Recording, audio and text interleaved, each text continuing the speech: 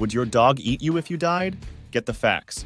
You might not look at your beloved Bella or Buddy the same way after reading this. In 1997, a forensic examiner in Berlin reported one of his more unusual cases in the journal Forensic Science International. A 31 year old man had retired for the evening to the converted garden shed behind his mother's house where he lived with his German Shepherd. Around 8:15 p.m., neighbors heard a gunshot from the direction of the shed. 45 minutes later, the man's mother and neighbors found him dead of a gunshot wound to the mouth, a Walther pistol under his hands, and a farewell note on a table. Most of his face and neck were gone, and there were tooth marks around the edges of the wounds. A half full bowl of dog food sat on the floor.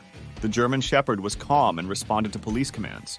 On the way to an animal sanctuary, the dog vomited some of its owner's tissue, including skin with still recognizable beard hair. No one tracks the frequency of pets scavenging their expired owners' bodies, but dozens of such case reports appear in forensic science journals over the last 20 years or so, and they're the best window we have into a situation dreaded by pet owners dying alone and being eaten. I've reviewed about 20 of these published cases, along with a 2015 study that pulled together 63 cases of indoor scavenging.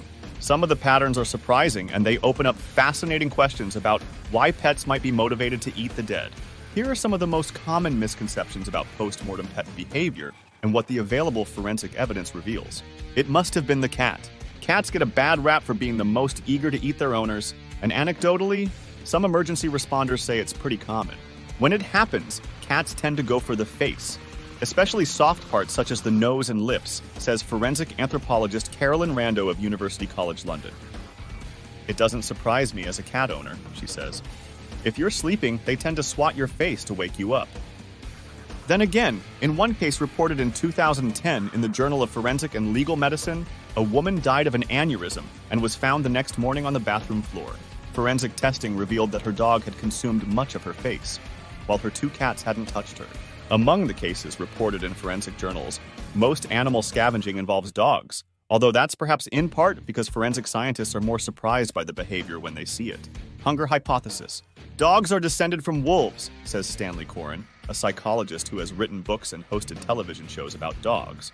If we have a situation where the owner dies and there's no source of food, what are they going to do? They're going to take whatever flesh is around. In some cases, it's clear that the animals were scavenging to survive. In one 2007 report, a Chow and a Labrador mix survived for about a month after consuming their dead owner's body, leaving only the top of the skull and an assortment of bone shards. Yet in the 1997 case, the German Shepherd began eating parts of its owner soon after death. It is interesting to consider the reasons for an otherwise well behaved pet with no motivation of hunger to mutilate the dead body of its owner so quickly wrote the forensic examiner Marcus Rothschild.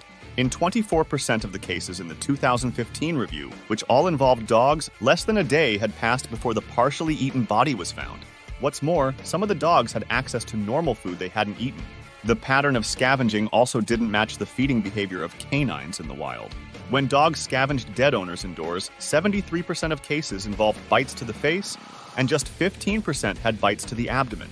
By contrast, Canines scavenging outdoors have a well documented pattern, opening the chest and abdomen to eat the nutrient rich organs early on, followed by the limbs. Only 10% of those cases involve wounds to the head. Bad dogs? It's tempting to think that if you're close to your dog and have treated it well, you're off the hook if you die.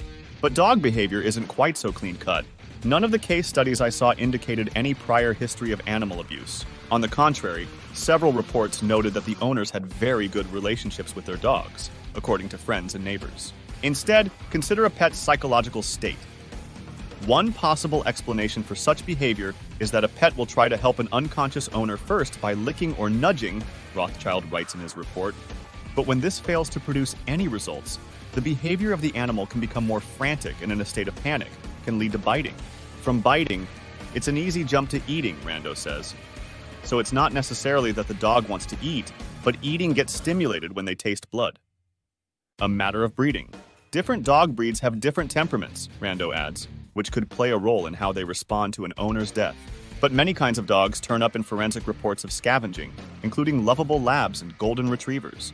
The cases I read involved a mix of mutts as well as several hunting or working dogs. Overall, most of the dogs were medium to large, with a beagle being the smallest breed to engage in scavenging in these reports. However, larger, more powerful dogs can do more damage. so those cases might be more likely to rise to the level of note. For instance, in three separate cases, dead owners were eaten to the point of decapitation, and they all involved German shepherds. Still, for all we know, a Pomeranian or Chihuahua would tear a head off if it could. Rando suspects that an individual dog's temperament might matter more. An insecure, fearful dog that regularly shows signs of separation anxiety may be more likely to move from frantic licking to biting to eating. So, what to do? There's no way to guarantee that your pet won't eat you if you die, apart from not having any pets. Even hamsters and birds have been known to scavenge on occasion. The best way for pet owners to reduce the odds, Rando says, is to make sure you have people who will stop by if they don't hear from you. And if you have neighbors who are elderly, ill, or vulnerable, you should check on them regularly it's a good reason to make sure you have people around you, she says. Social activity later in life is good for everybody,